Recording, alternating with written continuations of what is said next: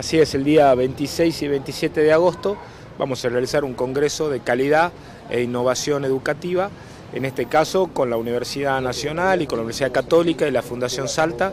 Viene el ministro de Educación de la Nación, vienen ocho ministros de provincia, a su vez viene la cúpula del Ministerio de Educación, pedagogos de, toda, de toda la nación y del exterior, gente de UNICEF, de UNESCO, del Banco Mundial, del BID, de la OEI, la verdad que va a ser un congreso muy interesante donde tendremos 16 paneles y varias conferencias centrales.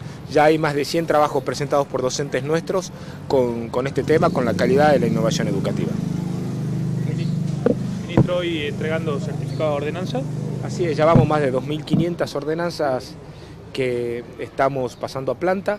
Eh, esto fue un compromiso que hemos asumido, estamos cumpliendo con los plazos sobre 2.800, las últimas que nos quedan ya tienen que ver con requisitos personales, como por ejemplo la finalización de estudios primarios que tienen que tener para poder pasar a planta, estamos formándolos a aquellos que necesitan ser formados, o sea que ya estamos en la última etapa del pase a planta de las ordenanzas, de 2.809 ordenanzas.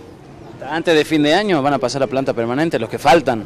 Esto, esto ya dependerá de cómo vayan ellos cumpliendo con sus requisitos. O sea, este fue el último decreto donde, eh, que son más de 400 que estamos pasando este, este mes, con este último decreto ya completamos con todas las formalidades que tienen que ver con la administración. Ahora esperamos que ellos nos acerquen los, elementos que hacen falta para poder atender la situación particular. ¿Cuál es la respuesta de, de dichas ordenanzas?